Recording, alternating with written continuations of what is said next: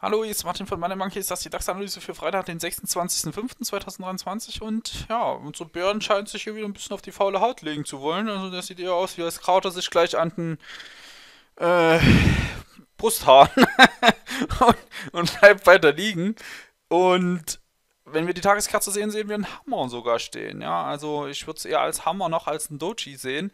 Ähm, einfach weil die Tageskerze oder der Kerzen, die, der, der, einfach im oberen Bereich der Kerze angesiedelt ist und wir quasi nur gesehen haben, dass er nach unten geglitten ist und wieder nach oben, haben unten die 700 abgearbeitet.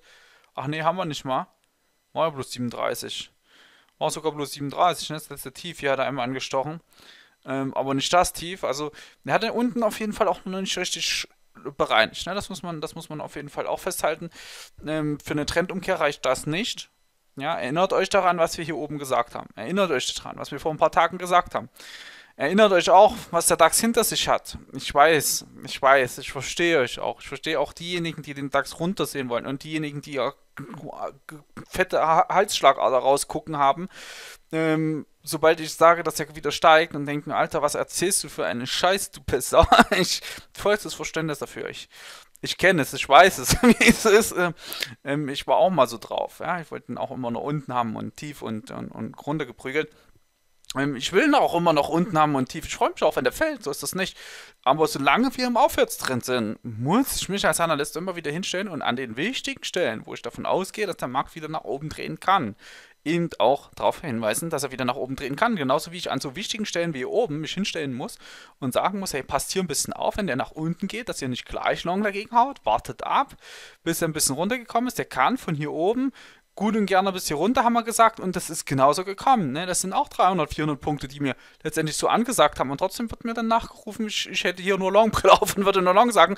Selbst wenn ich im gleichen Video sogar sage, dass er von hier oben das Potenzial hat, auf 12.000 zu fallen. Also ich bin gerne dabei, den nach unten rauszuschorten. Aber ich muss einfach als eure vernünftige Stimme auf der Schulter, als eure Unterstützung, als euren Support, muss ich natürlich auch das ansprechen, was ihr nicht hören wollt. In dem Moment, wo ihr euch vom Markt ein bisschen triggern lasst. Und wir haben gestern auch darüber gesprochen, dass das eben ein Tag war, der richtig rein triggert. Und das habe ich auch in Reaktion gemerkt. Ja, also da waren schon ein paar dabei, die sich teilweise sogar abend, also danach wieder korrigiert haben. Das habe ich auch gesehen. Hatte einer einen YouTube-Kommentar geschrieben, der hat es dann wieder rausgenommen und editiert. Ähm, das ist, finde ich gut. Also es ist ein guter Schritt in die richtige Richtung. Selbstreflexion ist ganz, ganz, ganz wichtig. Aber ich weiß, wie es ist. Ich, ich, ich brauche sich auch gar keiner entschuldigen oder wie auch immer. Ich, ich habe doch sehr, ich war das, ich, ich denke, es ist noch nicht, es ist auch noch nicht so lange her. Ne? Ich mache das hier nicht schon seit 50 Jahren erfolgreich. Das ist bei mir auch noch nicht so lange her, dass, dass ich kann mich da nur sehr, sehr, sehr, sehr gut dran erinnern. Also wirklich sehr, sehr, sehr, sehr, sehr, sehr, sehr um hier mal äh, Puffy ein bisschen zu zitieren, ne? sehr, sehr, sehr, sehr, sehr, sehr, sehr, sehr, sehr, gut. Ich, kann ich mich daran erinnern, wie ich das noch durchgestanden habe. Und dadurch, dass ich eben jeden Tag hier die Leute begleite, ähm, intensiv begleite, ähm, die, die auf dem Weg sind von ich zocke die ganze Zeit nur rum, hin zu ich werde professioneller Trader, ähm, hat man da hat man da noch einen sehr, sehr guten Draht. Und mir ist es einfach wichtig, euch zu vermitteln. Wir haben noch einen übergeordneten Aufwärtstrend. Ähm, die Tatsache, dass ich die letzten Monate immer wieder ein bisschen darauf hingewiesen habe, an Stellen mit mehr Eindringlichkeit auch betont habe, dass der Markt wieder steigen kann, liegt auch einfach der Tatsache geschuldet, dass das Ding halt auch einfach mal nur gestiegen ist. Da jetzt zu sagen, ich bin hier der, der, der, die letzte Pfeife, weil ich die ganze Zeit nur von Non rede, ist irgendwo ein bisschen irrational, weil der Markt die ganze Zeit gestiegen ist. Das nehmen bloß die Leute gar nicht wahr, weil sie die ganze Zeit short drin sitzen und das nicht realisieren, was der eigentlich für eine Leistung macht. Heute hat auch einer bei uns im Chat geschrieben, die, die Indizes wären alle so schwach und der Nasdaq wäre so stark. Ja, scheiß drauf, scheiß doch auf den Nasdaq. Ey, der DAX hat ein neues Allzeithoch gesetzt. Der Nasdaq ist da weit von entfernt. Der DAX hat von hier bis hier, guck mal, was das sind. Das sind über 35 Prozent, Leute, was wir vom Tief vom Oktober weggeschrubbt haben. Ja, das ist von hier, 1. Oktober bis hier hoch, das sind 37 Prozent. Die gleiche Strecke kannst du im Nasdaq mal abfahren, von Oktober bis, bis, bis, bis, bis, bis, bis, bis, bis rein in, den, in, in das letzte Hoch, was wir jetzt hatten. Da hat er vielleicht 25 drauf, lass es 26 sein, maximal 27 Prozent. Mehr hat er dort nicht gemacht. Also der ist hier der Outperformer, der DAX. Und dann zu sagen, hey Martin, nimm doch mal deine Longbrille ab, du Idiot. Das passt nicht. Da, da stimmt was in der Wahrnehmung nicht. Da stimmt was in der Warnung nicht. Und ich habe hier nicht gesagt, ihr sollt hier die ganze Zeit gegen Long. Ne? Hört euch auch gerne die Videos nochmal an, falls das jemand so wahrgenommen hat. Wir haben immer wieder gesagt, passt bitte ein bisschen auf, nicht gleich long reingehen, der kann von hier oben erstmal ein gutes Stück nach unten regeln. Und wir haben auch gesagt, der kann sogar auch die 700 einfach durchstucken. Das, hier oben schon, Montag oder wann auch immer das Video war, haben wir das schon gesagt, der kann noch von hier oben direkt nach unten durchtreten. Und das tut er aber gerade nicht. Das tut er gerade nicht. Und deswegen für mich persönlich, für mein persönliches Handeln jetzt hier wichtig, drauf zu schauen, was macht er jetzt. Variante A, der bleibt jetzt hier stehen, weil jetzt geht die saisonal beschissene Phase los. Jetzt kommen die Sommermonate, jetzt kommt die Urlaubszeit, jetzt kommt das altbekannte Sommerloch langsam.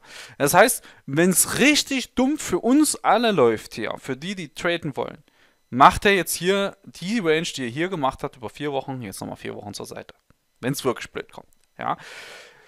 So wie die Leute aber drauf sind und so wie angespannt und wie gereizt die momentan noch sind, zeigt mir das aber, dass noch viel Geld zu holen wäre für den Markt, bevor er sich ins Sommerloch machen kann und könnte mir deswegen sehr gut vorstellen, dass der tatsächlich sogar nochmal nach oben geht. Weil ich einfach an der Reaktion der Leute sehe, wie emotional manche nach drei Tagen abwärts jetzt hier schon wieder sind. Der, der, der drei Tage, der ist ja die gleiche Strecke vorher nach oben gestiegen.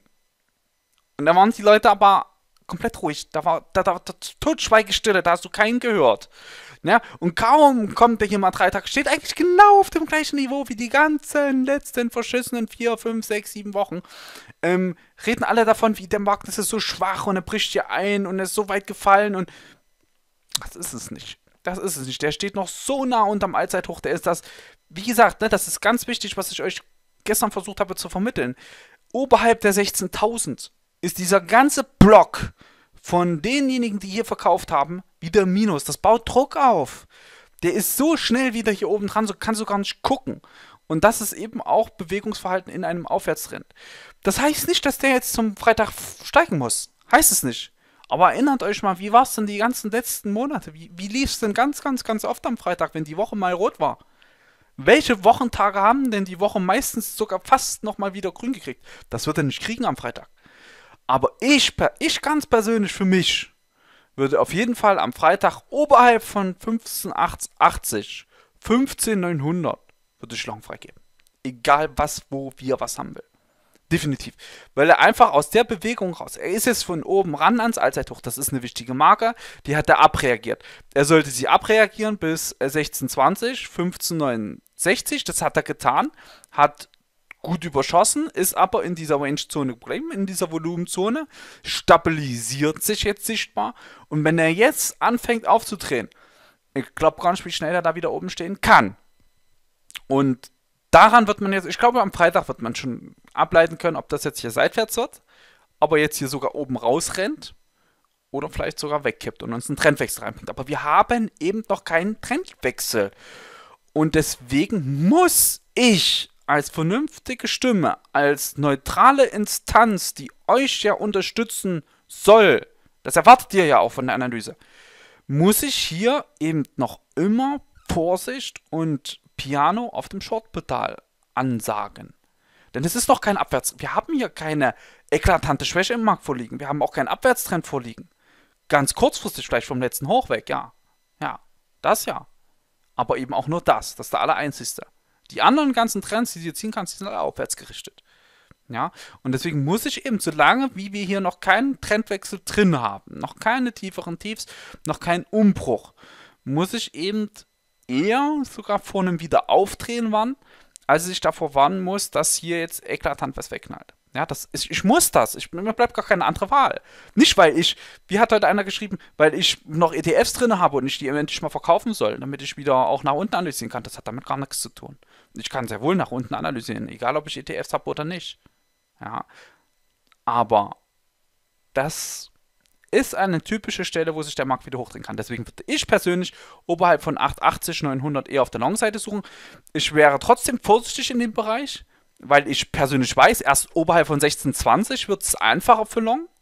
Ja, und der Bereich bis 1620 ist nochmal gut untersetzt mit diesen ganzen Hochs hier, die stören alle halt. Ne? Die stören alle in einem Long-Versuch oberhalb von 880, stören die alle. Ne? ja doch, oberhalb von 8,80 stören die alle, weil der Markt sich von dort immer wieder ein bisschen wegstoßen kann. Ah, also sei das eine 69, sei das eine 59, sei das eine 89, sei das eine 9, keine Ahnung, 45, 47, 8, das ist jedes einzelne Hoch stört es von unten ran.